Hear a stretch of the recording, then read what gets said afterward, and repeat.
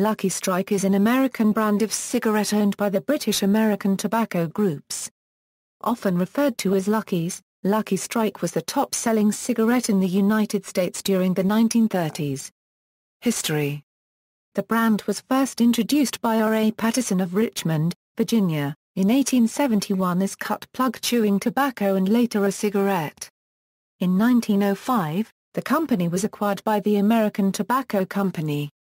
In 1917, the brand started using the slogan, It's Toasted, to inform consumers about the manufacturing method in which the tobacco is toasted rather than sun-dried, a process touted as making the cigarettes taste more desirable. In the late 1920s, the brand was sold as a route to thinness for women. One typical ad said, reach for a Lucky instead of a sweet. Sales of Lucky Strikes increased by more than 300% during the first year of the advertising campaign. Sales went from 14 billion cigarettes in 1925 to 40 billion sold in 1930, making Lucky Strike the leading brand nationwide. Lucky Strike's association with radio music programs began during the 1920s on NBC. By 1928, the band leader and vaudeville producer B.A. Rolfe was performing on radio and recording as B.A. Rolfe and his Lucky Strike Orchestra for Edison Records. In 1935, ATC began to sponsor Your Hit Parade, featuring North Carolina tobacco auctioneer Lee Aubrey Speed Riggs.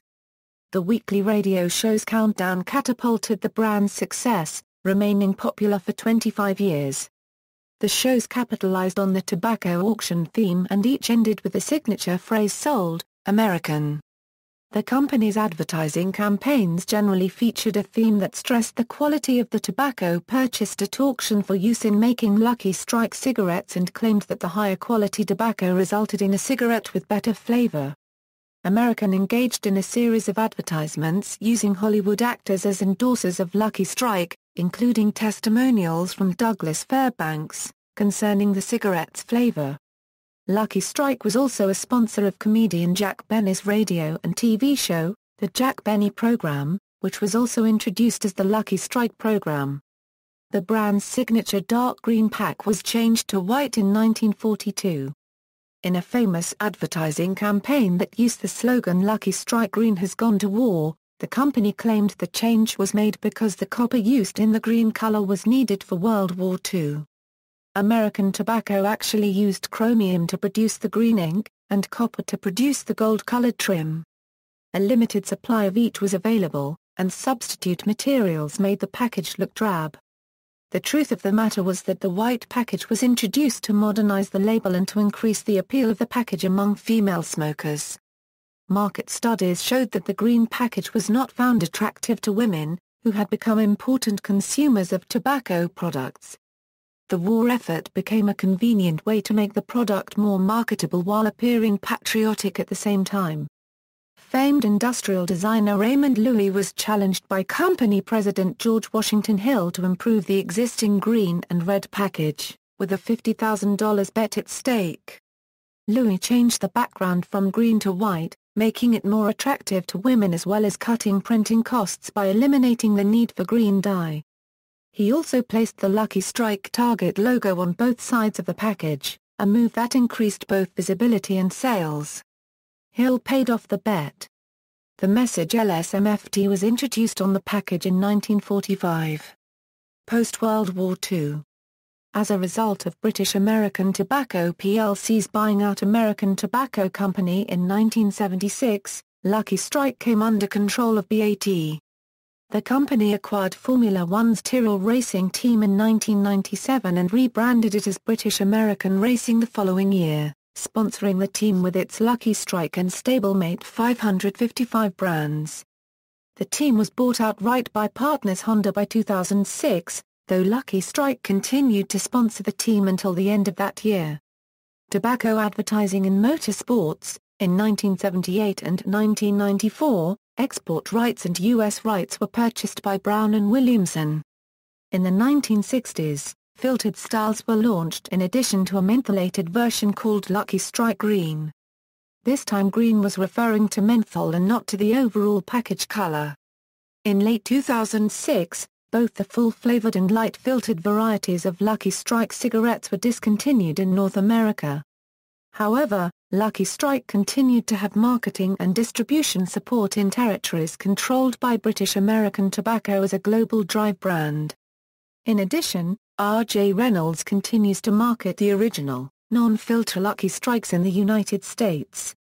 Lucky Strikes currently have a small base of smokers. In 2007, a new packaging of Lucky Strikes was released, with a two-way opening which split seven cigarettes from the rest.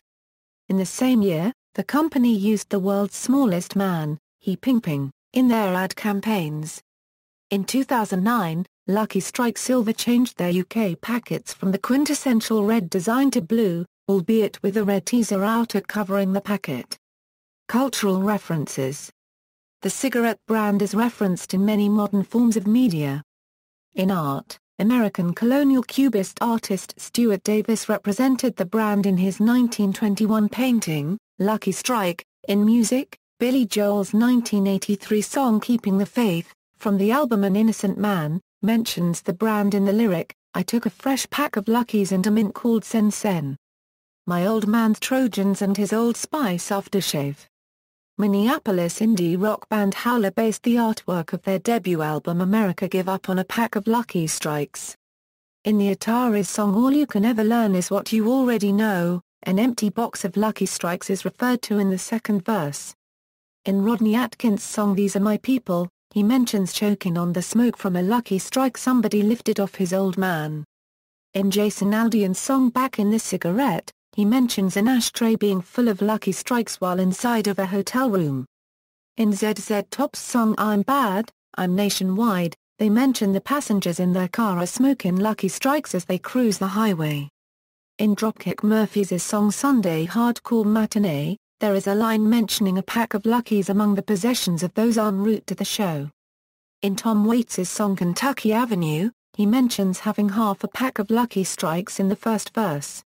In television, in the hit 1980s NBC television series Miami Vice, the character Det. James Sonny Crockett smoked unfiltered Lucky Strikes. The package is occasionally visible, particularly in the two-hour pilot, Brothers Keeper, and the episode Calderon's Demise. Johnson ceded to pressure to not smoke on camera later in the show's history. Van Montgomery from the TV show Reba wanted to start smoking Lucky Strike cigarettes when he was medically told to stop playing arena football. In the acclaimed AMC television series Mad Men, Lucky Strike is a major client for the fictional advertising agency Sterling Cooper. A fictitious plot is also presented for the birth of the legendary slogan It's Toasted. Lucky Strike in the HBO series Boardwalk Empire, for many years, Lucky Strike Tobacco sponsored the Jack Benny program, on both the radio and television versions of the show. In the season premiere of American Horror Story, Freak Show, Elsa Mars smokes a cigarette at a hospital and says, It's fine. It's Lucky Strike. It's good for you.